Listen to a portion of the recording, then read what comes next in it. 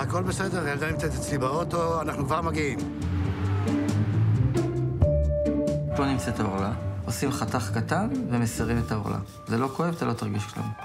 אגב, איפה האבא? בדרך כלל אה, יותר קל עם האבא.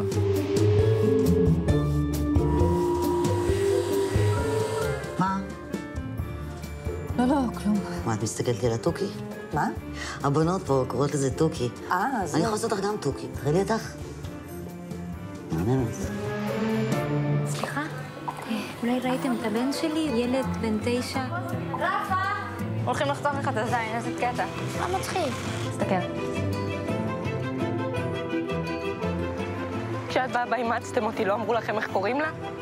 למה את בוכה מתוקה שלי? בואי אליי, בואי אליי. כבר מתה לראות אותה. אוהבת אותך, אימא.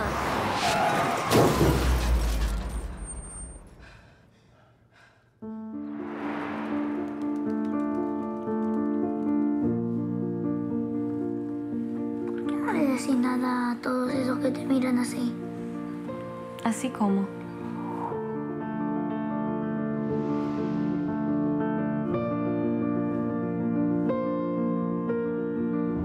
איזה עולם, קם בבוקר, הולך לעניינים שלך, עובר בדרך, קונה כמה פירות, לעשות איזה ריבה. אין לך מושג. בסוף אתה לא יודע כלום.